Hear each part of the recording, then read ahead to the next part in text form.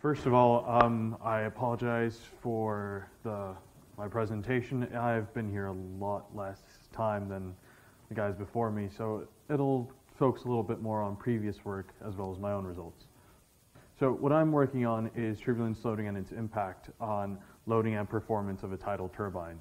Uh, there hasn't been that much research into turbulence because, as we've heard today, uh, most of the research were, is inherited from the wind industry, and turbulence really isn't that big of a concern in wind industry.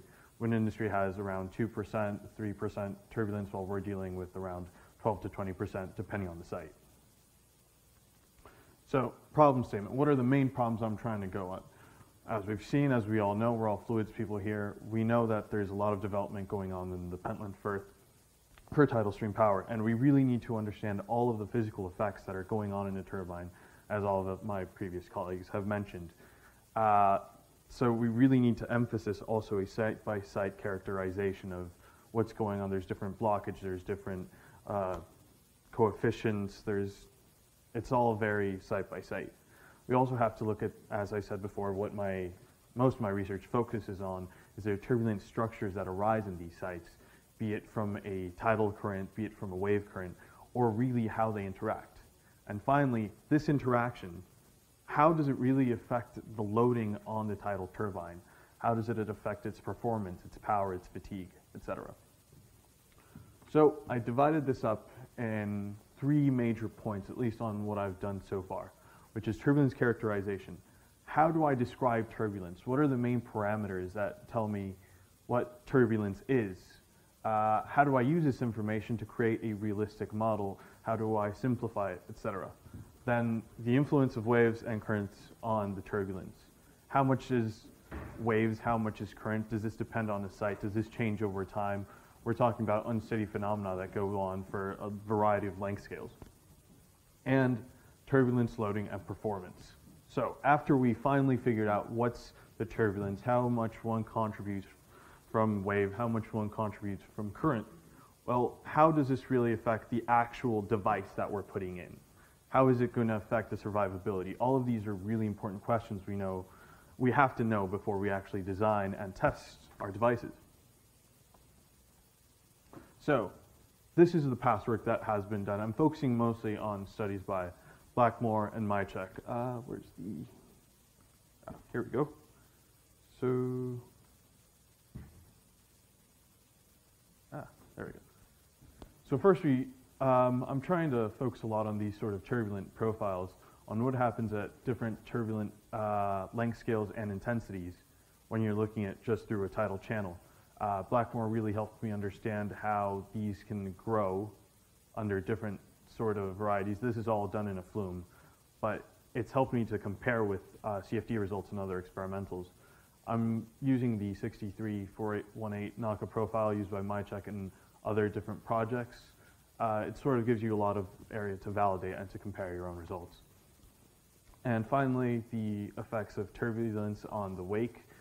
There has been very little sort of parametric um, analysis into turbulence. Like I said, you have to characterize. You have to describe what are the parameters that really matter. So this is one of the few things that have really helped me understand the importance of length scales or the importance of uh, intensities that go on and how it affects the wake and the performance, but it also really highlights how different models can be affected in different ways by it. And you really have to, your simplifications really do matter. So for my research stage, right now I'm focusing on the first two, uh, on the first two, which is a steady analysis of hydro, of an airfoil. Basically, I'm just putting an airfoil and the CFD and trying to get really how it's being affected by the length scales, by the intensity.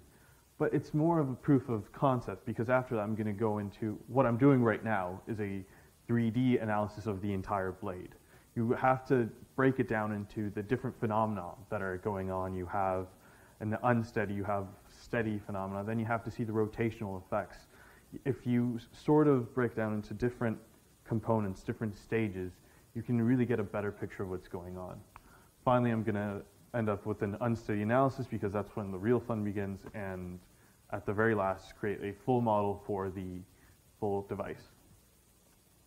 So this, these are my first results that I've gotten. I first tried using a program called QBlade that is mainly for the wind industry that creates a full turbulent field.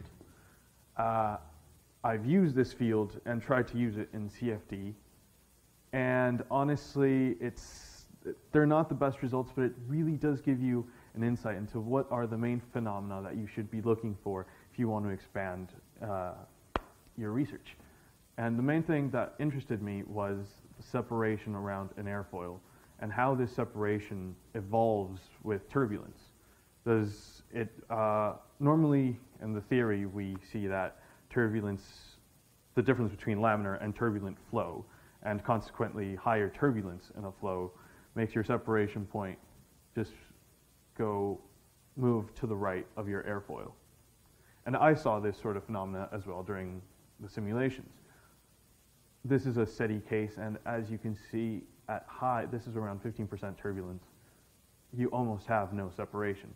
But this separation really is what drives most of the performance in the airfoil. It drives drag, it drives lift. Lift is mostly uh, coming from a pressure gradient, and drag is mostly coming from a shear stress on the surface of the airfoil. So any sort of simulation, any sort of model really has to account for an accurate prediction of the separation point or the non-separation.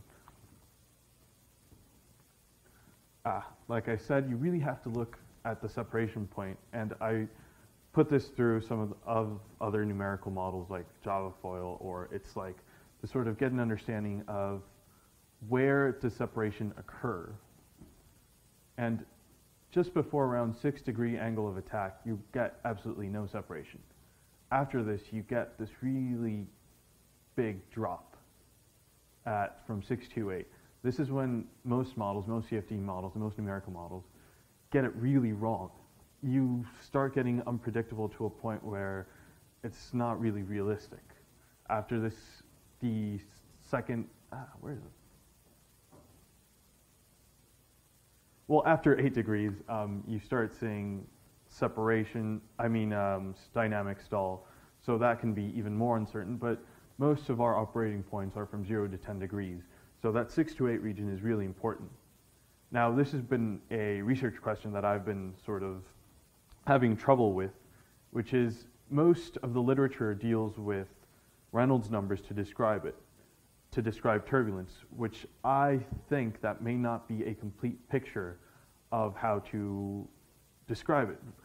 There's uh, the big research question is how much does Reynolds number correlate to turbulence intensity and turbulent length scales for an airfoil? And that's something I still have to develop a little bit more.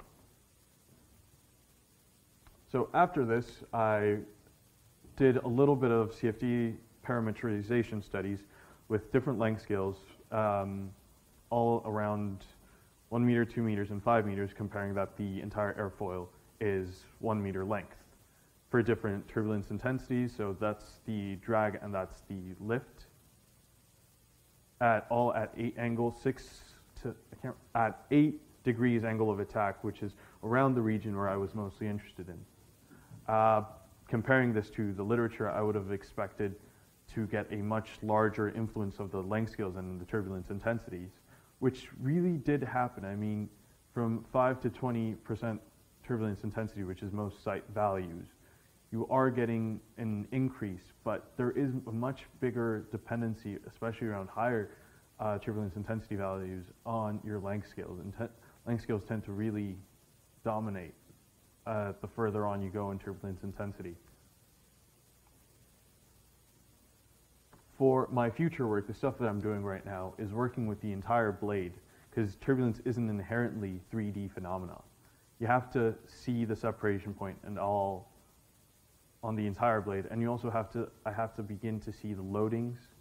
These. This is actually a loading uh, sort of study I've been doing on a 63XX blade. I'm now going to move into experimental validation and finally see how the waves are interacting with the current for an actual air profile and see the, and I'm beginning to look at the at the entire rotor and how it's affecting the flow in the wake.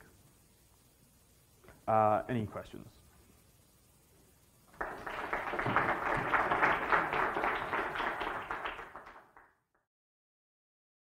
This production is brought to you by the University of Edinburgh.